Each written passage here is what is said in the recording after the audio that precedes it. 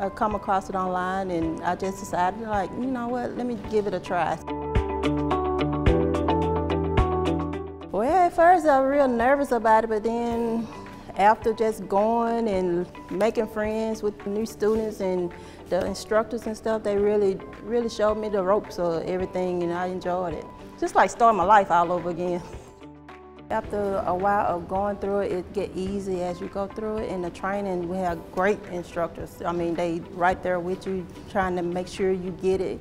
You know, they not just there, and you not just there. They gonna make sure you get it instilled in you before they send you out to the field, you know, or where you going.